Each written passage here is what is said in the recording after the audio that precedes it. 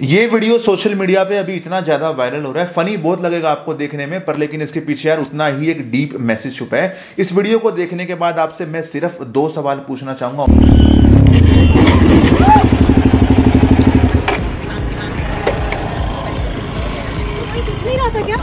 भाई दीदी गाड़ी टकराई भी नहीं है।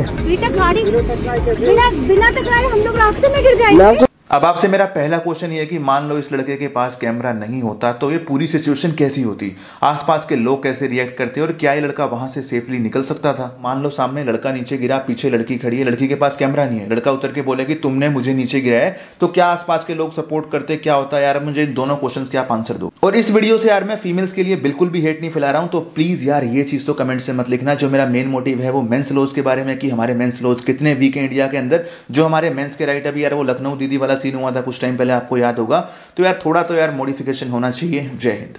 अब यार, आपने हेलमेट पहना हुआ होगा ना तो भी आपका चलान कट सकता है। अब आप भी कहोगे, भाई यार मतलब काट लो हमारा, बस यार मतलब छोड़ो मत कोई भी मौका। यार, मैं मज़ाक नहीं कर रहा हूँ। देखो, अभी सरकार की गाइडलाइंस आई है कि जो आपका हेलमेट है, अगर वो आईएसआई अप्रूव्ड नहीं होगा, उसके ऊपर ये आईएसआई वाला स्टिकर नहीं होगा आईएसआई सर्टिफाइड नहीं होगा तो आपका हज़ार रुपये का चलान कट सकता है। दूसरी बात, जो हेलमेट के नीचे भाई ये रस्सी सी होती है ना, जिसको मतलब कई लोग धूम, फोर समझ के इस तरह लटकाए रखते हैं स्वैग फ़ैशन वो उसका भी भाई चलाना है। हज़ार रुपये उसके भी कटेंगे।